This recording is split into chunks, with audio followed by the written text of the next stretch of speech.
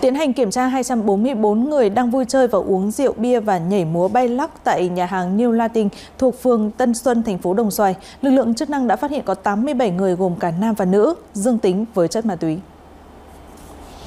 Trong đó có 8 bàn với khoảng 40 đối tượng có dấu hiệu tổ chức sử dụng trái phép chất ma túy. Công an thu giữ trên bàn của các đối tượng và khu vực lân cận một số bịch ni lông bên trong chứa tinh thể màu trắng nghi là chất ma túy dạng ketamin, một số viên nén nghi là thuốc lắc và một số bịch nhãn hiệu Ferrari nghi là chất ma túy dạng mới gọi là nước vui. Đồng thời xác định được một đối tượng có dấu hiệu tàng trữ mua bán trái phép chất ma túy cho khách đến vui chơi.